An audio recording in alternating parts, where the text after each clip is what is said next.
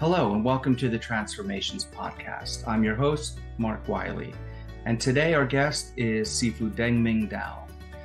Deng Sifu is a Chinese American author, artist, philosopher, teacher, and martial artist who, from a young age, has studied Taoist internal arts such as Qigong and Kung Fu. He is the author of 10 books, including 365 Tao, Everyday Tao, Scholar Warrior, and the Chronicles of Tao. For 13 years, he studied Qigong philosophy, meditation, and internal martial arts with Taoist master Kwan Saihung. Deng Sifu is also a graphic designer and a fine artist whose work is in several collections, including those in the Brooklyn Museum. I had the opportunity to speak with Ming Dao back in 2014 about martial arts, Qigong healing, spirituality, and the paradigm of the scholar warrior. Our original 90 minute conversation was lost, however, and it was never released. Somehow, by the powers that be, nearly a decade later, 29 minutes of that conversation suddenly appeared on my desktop from a different computer I didn't have at the time, and there it is. Make of it what you want. During this segment, we discussed many things, including Tao as a path and a way of life, what it means to be of your generation but not imprisoned by it, the importance of cultural literacy, East and West psychology, the Chinese concepts of Jing, Qi, and Shen, how we are part of and not separate from our environment, and even a bit on firearms. I hope you enjoy listening to my conversation with Master Deng Ming Dao as much as I enjoyed having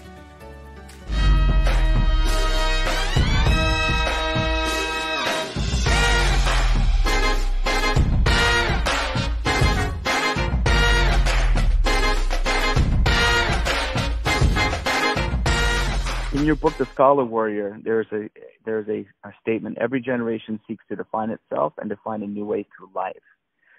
Do you feel that Taoism or the, the philosophies of Taoism help one um, to define themselves, which then helps a, oh, help a generation?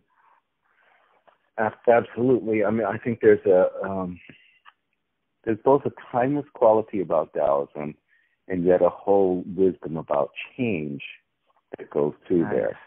So mm-hmm. I think Taoism gives you a rubric, a framework by which you can understand is archetypal and primal in life, mm-hmm. what's temporary in life, and how important it is to change and adjust to what happens within each generation. So the very simple idea of Taoism being a person on a path and Taoism also being the path of life and wow. trying to get the two of those to mesh up is for me a, a very powerful idea. And so while you still have to have a sense of where you're going and a sense of initiative, you also have to come to terms with the circumstances around you. Look at the possibilities that are open to you and then work with that. Now those possibilities change. And, you know, you're, you're a father. I'm a father of a, a now 20 year old. And mm. I, I'm, you know, you know that our kids are forever reminding us how out of it we are. Yeah. And I mean, that's just one very informal measure of how each of us is in his or her own generation. What do you do about that? What do you do with everything around you changes? I, I tell you, when I go to events that interest me, everybody is gray haired. Right. If I go to a jazz show or poetry or art and so yes. on. I I am in my generation. I and then I would look ridiculous at a Taylor Swift concert. um, with a skateboard. So, right, right. So you do have to be a part of your generation, but I don't want to be imprisoned by my generation. Mm. You know, I don't want to just be the old man who, yeah, I, I don't know what you know social media is or whatever. Right. Right. right. Um, you know, I I I think it's just as important for an older person to be culturally literate about the right. younger generation as the opposite. Mm. You know, you you might have just seen recently where there was a a PR firm that stupidly called itself Strange Fruit and not really thinking about the Billie Holiday song and that the song is about lynchings in the South. So that's mm-hmm. an example where a younger generation had no, not enough cultural literacy about what had happened, you know, uh, what, 67 years before. Right. So, but it goes both ways. I think it's dumb to for an older person to just say, "Oh, that's what young people do," so therefore it's irrelevant. Right. Yeah. Um, yeah. And our topic is martial arts and you know yeah. healing and spirituality. We have to be on top of whatever the latest science is or the latest uh, physio- physiology thinking and so on. But if your philosophy is good, it doesn't matter what the discoveries are. You should be able to put it back into that framework. Mm. That's one thing I like about Chinese medicine is that uh, it bases its diagnosis on syndrome based on channel and based on excess and deficiency rather than mm-hmm.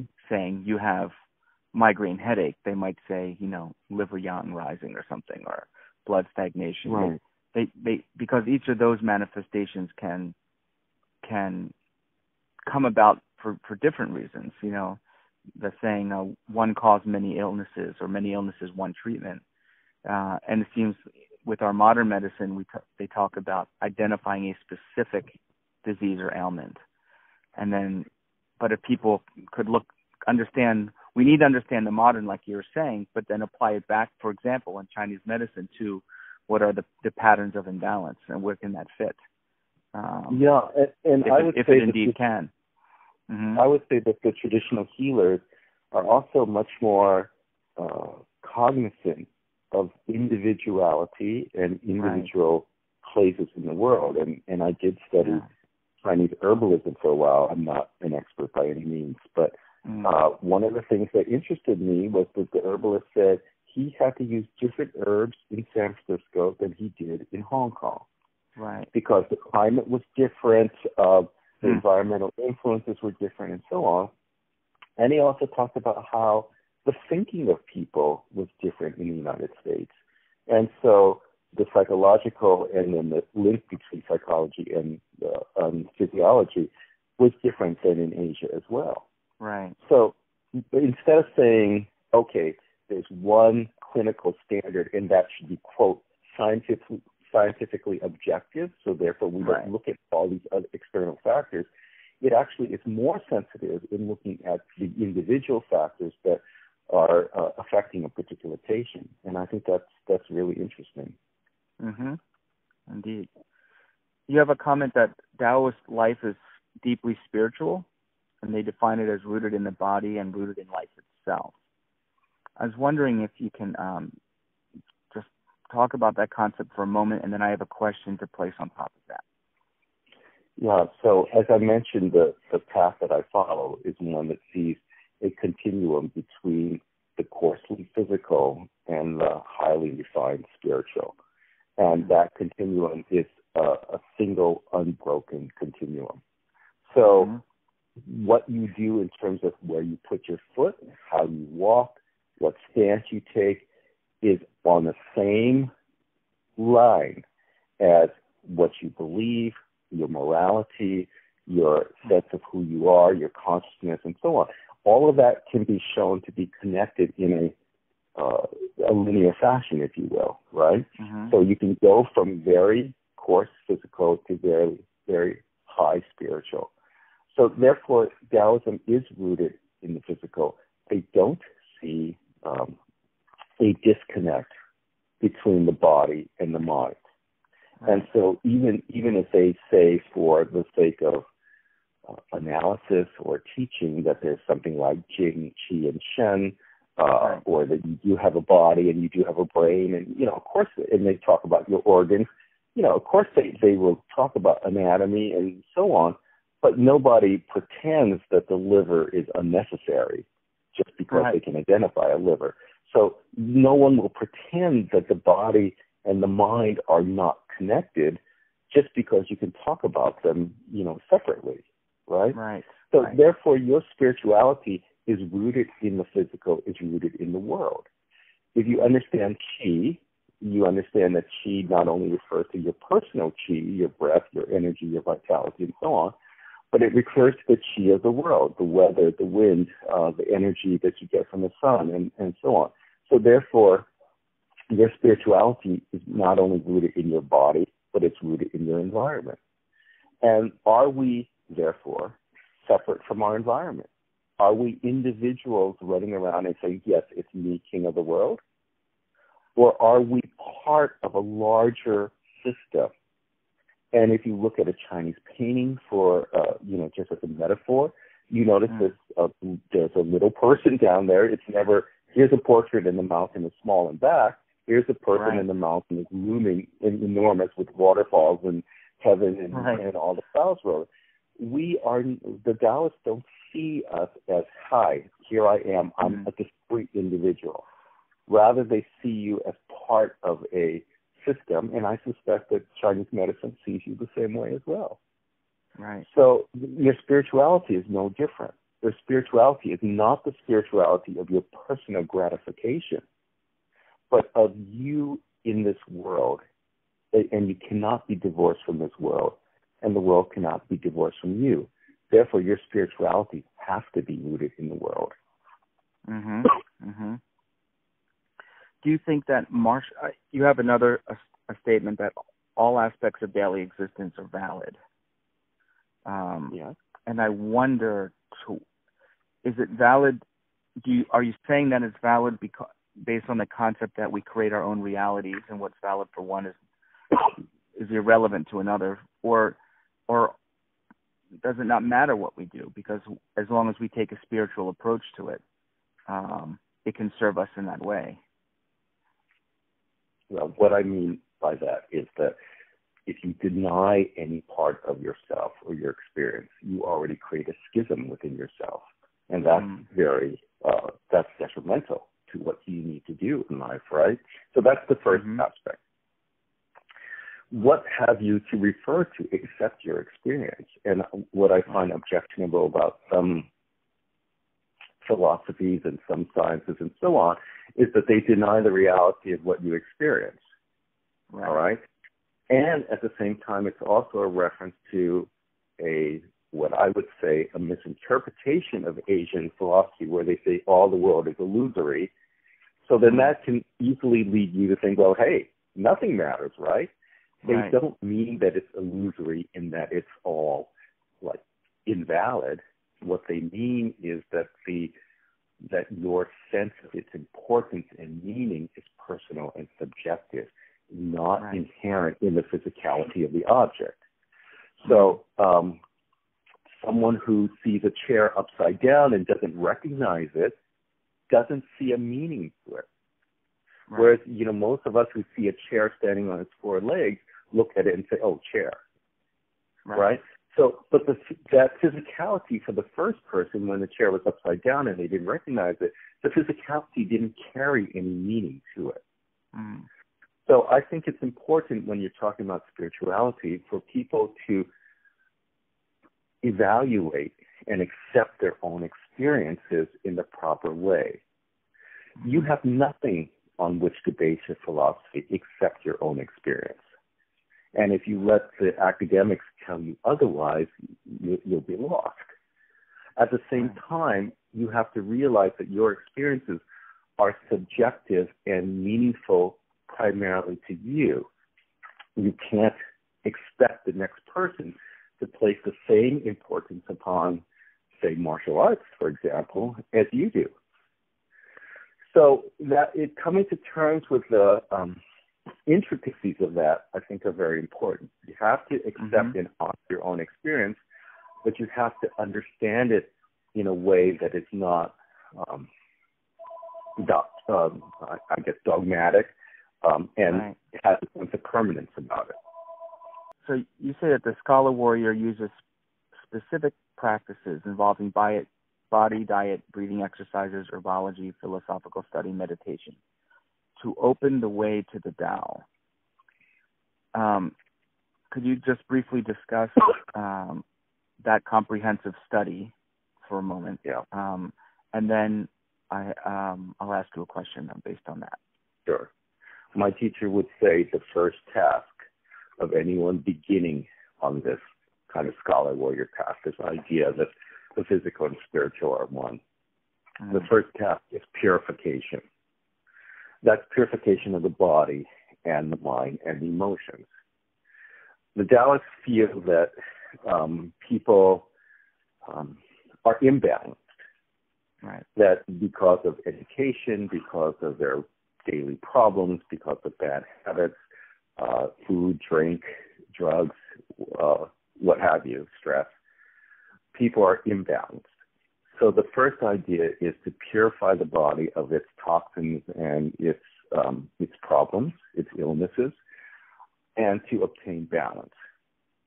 The Taoists feel that if a body and a mind are balanced, then your perception of what is spiritual should be automatic. We are meant to understand the Tao, but we are prevented from doing so mostly by the problems of our modern living. So the first problem is to purify ourselves, to clarify ourselves, and to obtain balance. And this is very much in line with the idea of Chinese medicine. Chinese medicine says that if your chi flows, if all your channels are open, if you are imbalanced, then you're not likely to become ill because illness is defined as an imbalance, uh, a blockage perhaps, or a uh, entry of a malign influence. Right? Once you do that, then the idea is how can you channel the energy through areas of the body that are not normally used by an average person. All right? And that's where you get to the idea of, um, for example, the eight, what are called the eight extra meridians, so eight psychic mm-hmm. meridians. You get to the idea of the Dantian. So, in a normal person or a person who doesn't practice, these channels and centers are not open. If you can send energy through these channels, if you can open these three centers, then each center uh, releases, if you will, a, uh, a power or energy, a perception, and so on. So we talk about the three Dantian. You know, the lower Dantian is sort of storage of your uh, basic energy. The middle Dantian is your vitality, and the upper Dantian is what you know we often call the third eye. And if you can open that up, then you know the perceptions come to you. Again, the theme is that spiritual perception is not a matter of getting an idea or accepting right. some thought. It's a matter of you attaining a psychophysical state through the opening of these centers. Then you can start to experience all these things for yourself. That's where the exercises and the meditation, the Qigong, the Daoyin come in. Mm. Next stage is can you build unusual levels of energy? And so if you practice martial arts, you know that a martial artist is capable of feats of strength and power, endurance and stamina that an average person doesn't have. Why? Because that person trains. Right? They're not they weren't born superhuman. Right. They don't have anything extra. They made themselves that way. And that's where training comes in. So now if you have the channels open, you have the centers open, can you then start to manifest an extraordinary level of energy and to power those centers and to continue your investigations and so on. Then comes finally the, the philosophy. You know, when you're having these experiences, how can you shape that into a coherent set of thoughts? And that's where setting the masters and the uh, records that they left behind over thousands of years can help to shape what you're experiencing. If you can do all this, if you have everything from the physical um, to the energetic, to the mental, the spiritual, the philosophical, then you enter that stage of meditation where you can really um, perceive these things for yourself and ultimately glimpse what they would say the uh, aim would be, which would be understanding void or nothingness. Um, and, and that's why in meditation you try to not blank out per se, but just attain that state where it's a thoughtless state. Right. And that thoughtless state is akin to the ultimate reality, the origin of the world, and so on. If you can experience that for yourself, then your whole philosophy becomes grounded in your own um, perception and not simply the words of other people. So that's mm. a very quick overview of what that's about. I know there are quite a few different martial disciplines where the practitioners feel like they are um, finding spiritual moments or moments of no mind in the practice of their sets or in the focus that they use mm-hmm. when doing their mm-hmm. techniques. But do you mm-hmm. think that these are, without having the additional deeper level practices, the, the meditation and the qigong, etc., uh, do you think it's limiting the extent of that experience by merely practicing the physical arts? I, I don't think it's limiting it per se. It's just that there are other things. If they right. stay there, then that's then you know you could have something else. Is, is what I'm saying. Right. But you know there are plenty of people who only want to get to the uh, level of um, physical power. Um, they want, and even if they want to attain that very high level of, say, being able to go into a fight with 20 people and not thinking about it, and everything is just happening by itself, and yeah. of course they still win. Um, yeah, that's mm-hmm. very much akin to spiritual understanding, but it isn't the full spiritual understanding yet. Right. But they don't want to do Bullfighter. They right. that's that's what they aim for, and and that's all they want. I don't think that that's enough in life, but that's right. my personal opinion. You know, right. um, and there's always a danger.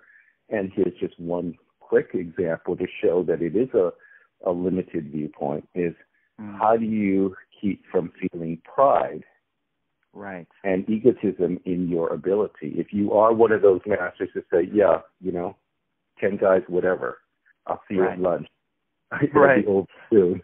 Um Over and then that's it. sandwich. Yeah. That's right. Um you, you get stuck in the ego. Right. you get stuck in that. And you also, if you follow that kind of martial life, there's never an end to people gunning for you. And mm. so, not my Taoist teacher, but one of my other Tai Chi teachers, he, um, you know, followed a master in Hong Kong, and that master, you know, was a famous master, Wu Style Tai Chi, was unbeatable.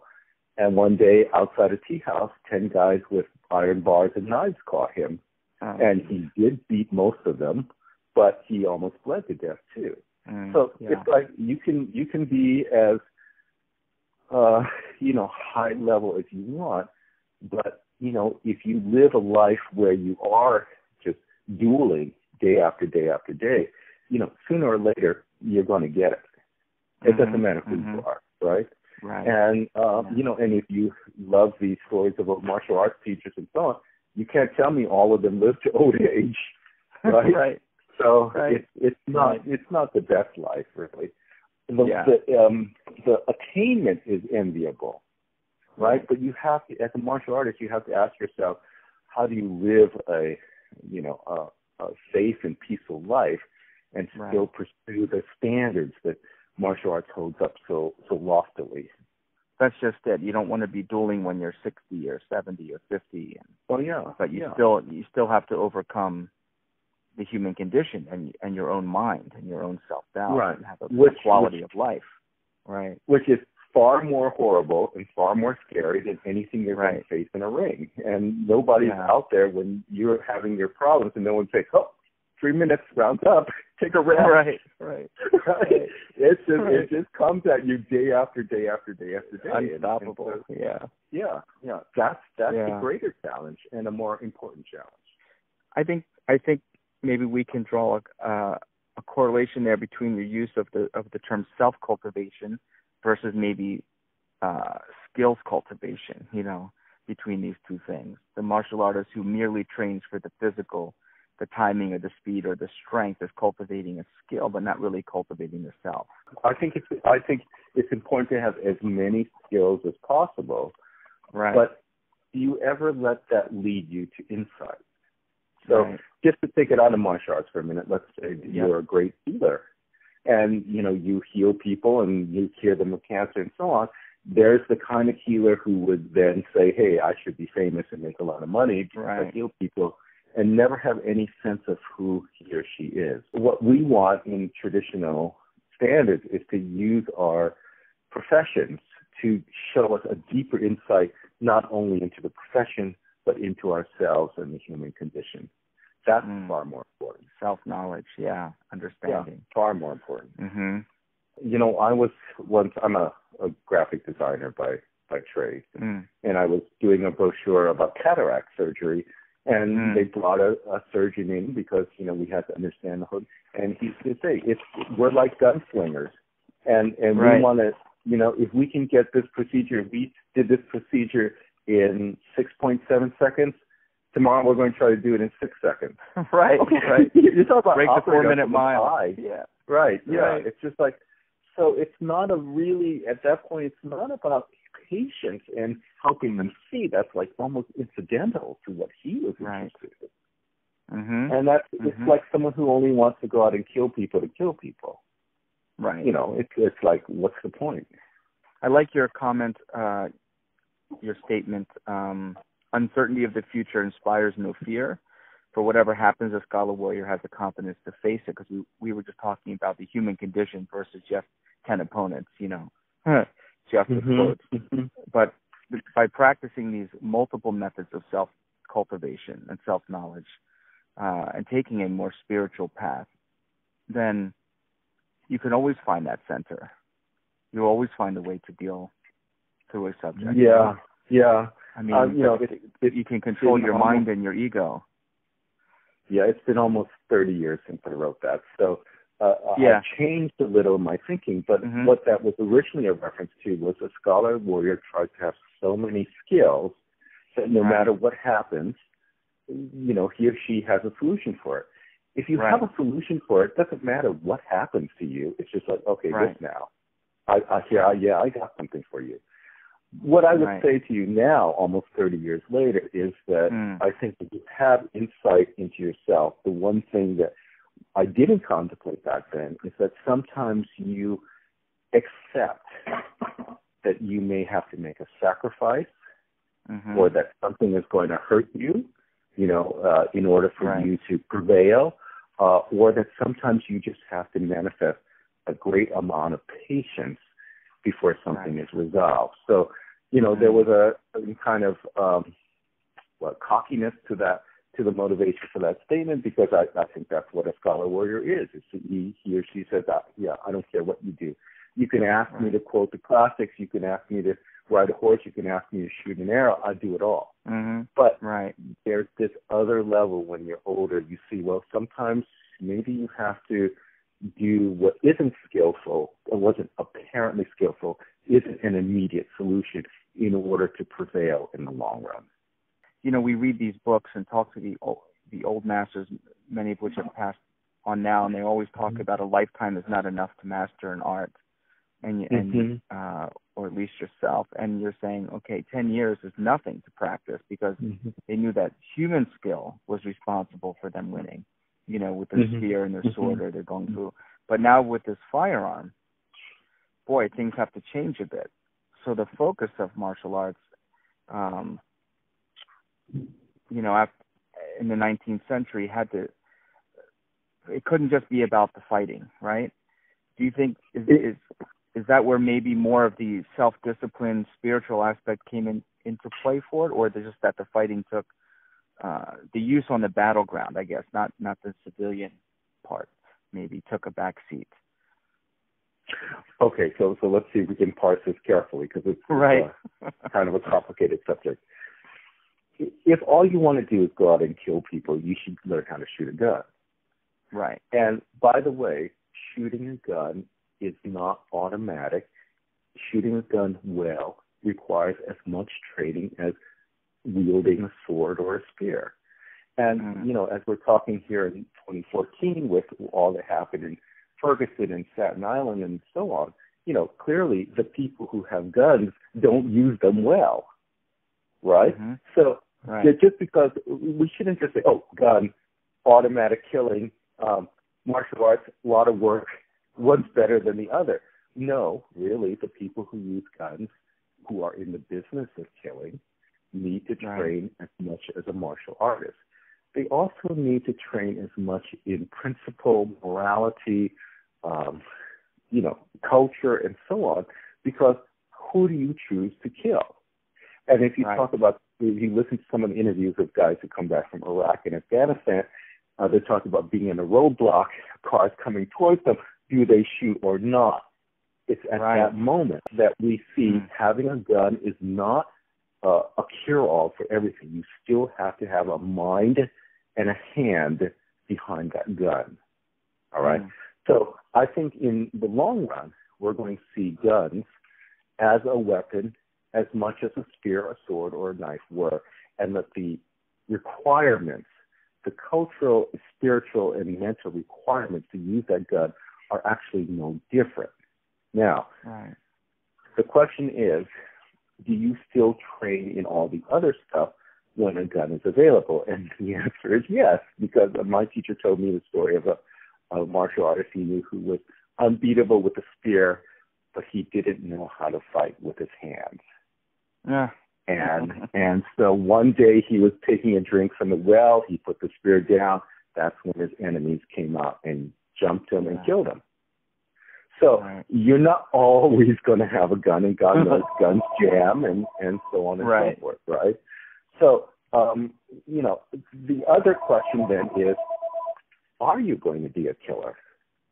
You know, and I don't think that's really necessary or given to all of us to be. I certainly don't go out and practice with guns. I'm not interested in killing people, and so on. Right. Um, and so, and if all you want to do is kill people, then yeah, you know that's something. But you know, we um, by every civilized standard, we recognize the necessity of killing, and we put as many checks and balances on that necessity as possible.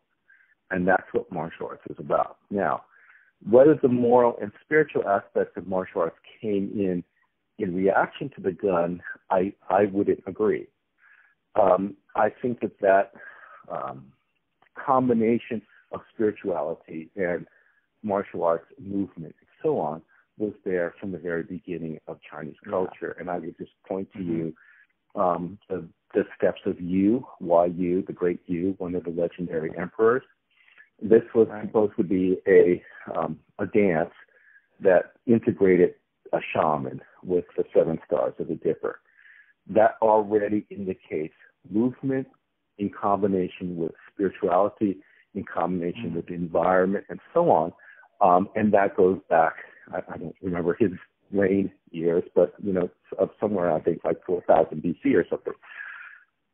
Uh, people, including my master, connect the Tai Chi directly to that tradition of the dance of Yu. And um, if you think about it, why does Tai Chi have a posture called the seven star steps? Why Right. is the sword called the seven star sword? This whole Hmm. idea of the dipper in, in movement, dance, martial arts, and so on is an extremely old and deep one. Uh, I will also uh, point out to you uh, there's a poem by Du Fu, um, and I'd have to look it up for you. But in it, it, ostensibly what happens, the main part of the story is he's um, at a party, he gets drunk, um, and he gets on a horse with a halberd, Mhm. and he's having he, he's having a flashback to his days uh, when he was a great hero on the halberd with the halberd, and he ends up falling and then hurting himself, and then he's chagrined because all his friends come to see him. That's the, the gist of the story. But if you look at it deeply, well, okay, you're talking about what some people, uh, the person who would most people would consider, I'd say, the top three poets of Chinese history in all of Chinese history is a guy with a halberd on a horse in, as an old man. Okay, um, you know, that's that. Even though that detail is there as a happenstance, it's almost more persuasive as it's happenstance. It's just Right. mentioned on the side. Um, we know that I think it was also Du Fu who talked about seeing the uh, sword dance of Madame Gong. I think I'd have to look that up. Um, and so, therefore, he's talking about this idea of a sword dance at a high culture gathering. Mm. And so, uh, therefore, it was not, there wasn't this necessarily this separation of martial and military um, deeply in Chinese culture. We also know that Li Po, who most people would consider the premier Chinese poet, was also a swordsman and fancied himself as a kind of knight errant, going around trying to right wrongs with a sword and so on. So you know, this idea of the scholar warrior is, you know, obviously not something I made up, and it's obviously something very deep in Chinese culture, right. um, and therefore did not happen just in reaction to modernity or to guns.